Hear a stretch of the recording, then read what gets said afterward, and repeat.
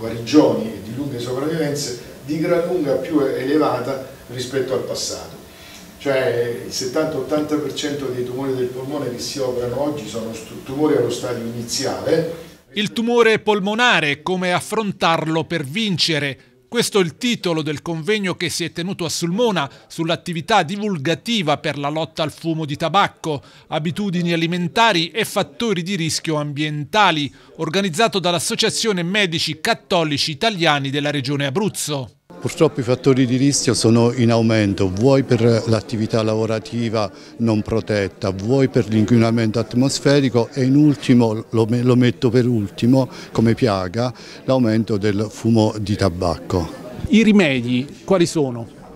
I rimedi sono la prevenzione, prevenzione primaria e cercare di limitare eh, questi fattori che provocano il tumore. La prevenzione secondaria è una diagnosi precoce che permette una terapia abbastanza, eh, abbastanza, in fretta in modo da evitare che questo tumore diffonda nel, nell'organismo. Il consiglio che possiamo dare nel merito?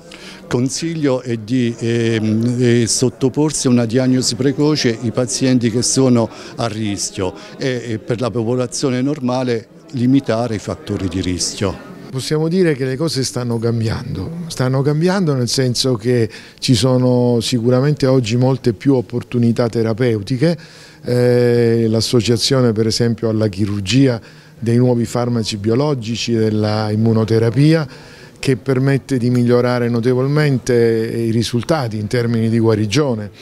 La chirurgia è cambiata molto, è una chirurgia mini-invasiva, quindi con minore complicanze, minore mortalità, è un, un ottimo diciamo, outcome per il paziente, non c'è dolore, la degenza è breve e poi ancora l'importanza del coordinamento eh, multidisciplinare con i nuovi gruppi interdisciplinari oncologici eh, che eh, sicuramente migliora anche la, da un punto di vista organizzativo il percorso diagnostico terapeutico per questi pazienti.